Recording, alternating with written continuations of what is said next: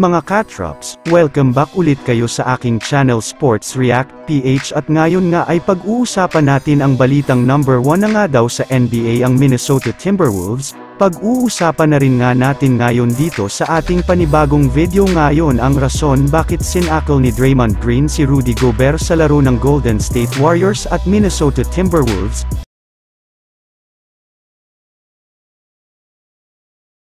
Kahit man nga mga Catrops, hindi naging maganda ang simula ng Minnesota Timberwolves sa pagkakatalo ng kanilang team sa kanilang opening game kontra sa Toronto Raptors ay sinigurado na rin naman nga ng kanilang team na magiging maganda na ang kanilang performance sa kanilang mga susunod na laro. Sa katunayan, ilang malalakas na kupunan na rin naman nga ang kanilang natalo ngayong season kagaya na lamang ng Miami Heat, New Orleans Pelicans, at Golden State Warriors, sila rin naman nga ang kumuha ng unang talo ng Boston Celtics at ng ating defending champions na Denver Nuggets ngayong season, kaya dahil nga sa magandang ipinakita performance ng Timberwolves ay umangat na nga agad ang kanilang record sa standings ng Western Conference, at ang maganda pa dyan mga Catrops, ay sila na rin naman nga ang number 1 team sa buong NBA pagdating sa opponent points per game, opponent field goal percentage, at opponent 3-point percentage,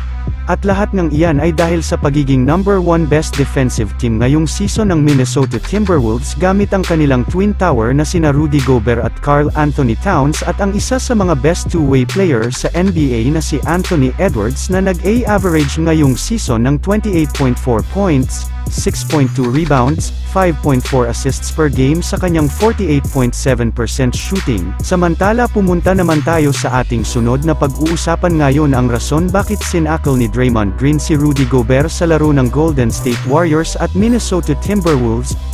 Bago pa man nga mga katrops, magsimula ang kanilang laban ay inanunsyo na nga ng Warriors na hindi dito maglalaro ang kanilang superstar na si Stephen Curry bunsod ng pagtatamo nito ng injury sa kanyang tuhod.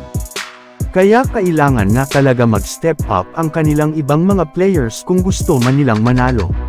Ngunit sa simula pa lang nga ng kanilang laban ay nawalan na nga sila ng dalawang players. Yes, sa pagsisimula pa lang nga ng laro ng Golden State Warriors at Minnesota Timberwolves ay meron nga ditong nangyaring kaguluhan kung saan nag-umpisa nga ito ng magkainitan at magkahawakan ng damit sina Jaden McDaniels at si Klay Thompson na agad rin naman ng inawat ng mga referee at ni Rudy Gobert na pumagitna sa kanila. Ngunit sa kasamaang palad, matapos lamang ng hawakan ni Gobert si Thompson ay agad na nga ditong naging agresibo si Draymond Green at agad itong sinakal ng ilang segundo. Kaya dahil nga sa nangyari ay pareho ngang na-eject sa kanilang laro sina Jaden McDaniels, Klay Thompson at maging Draymond Green na possible pang gumarap sa isang napakabigat na suspension mula sa NBA.